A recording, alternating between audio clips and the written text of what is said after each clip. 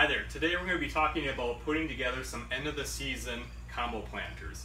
Uh, it's early August.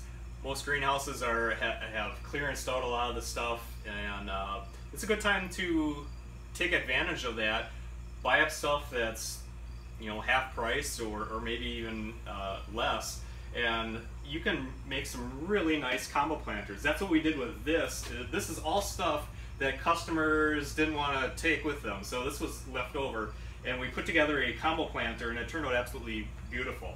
It just wax begonias, we got caladium, the uh, spring rye, there's salvia in here, coleus. This is amaranthus. This is really, really neat. This turns out beautiful.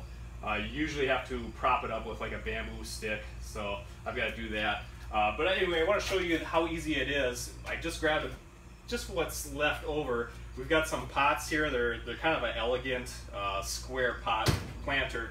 And we're just gonna plant them up and, and see how it looks. Now you don't have to get too picky. I'm gonna take this dragon wing begonia. That's one of the only flowering plants I have left. I've got some coleus that I grabbed.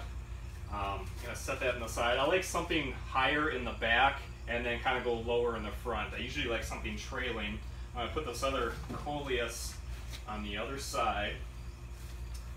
My trailing is this Lysimachia. I'm gonna set him right in the front. And I'm just gonna grab some dirt here, some soil, put it right in the middle. Uh, this will all wash off, it'll look good. So there's that one, that one's done. And how about this one? Let's see, how about the, I've got some spring rye left over. I'm gonna take that, put that kind of in the back. Uh, there's one Angelonia left set him up to the side here. Maybe another coleus on this side.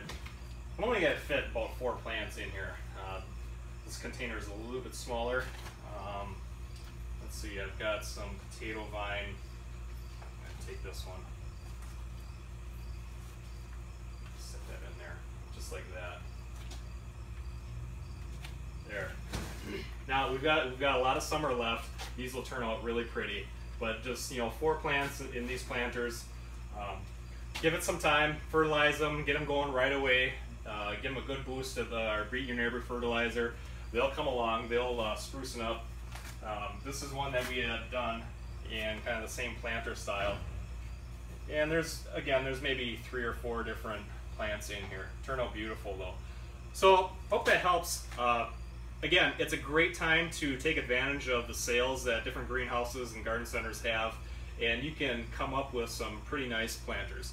We have more information. Go to beatyourneighbor.com. We have all our social media there. You can get to uh, Pinterest, Instagram, uh, more YouTube videos, of course, and uh, watch for more videos on and more how to and care to videos.